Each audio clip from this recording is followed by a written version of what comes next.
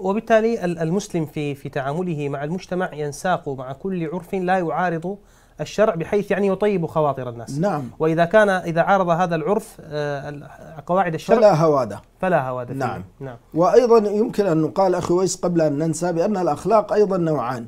هناك أخلاق جبلية وهناك أخلاق مكتسبة. أخلاق جبلية بمعنى أن بعض الناس شجاع جبلة. كما يذكر عن عنترة وفلان من أهل الجاهلية. بعض الناس كريم جبلة كما يذكر عن حاتم.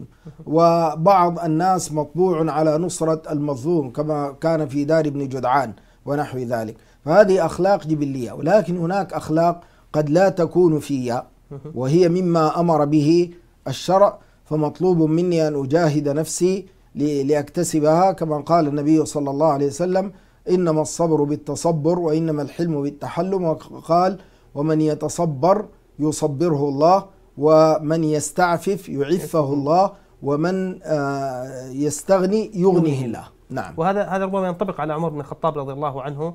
يعني كيف كان ما فيه من شدة وحينما ولي أمر المسلمين؟ نعم يعني تحول إلى رحمة ورفق. نعم. نعم.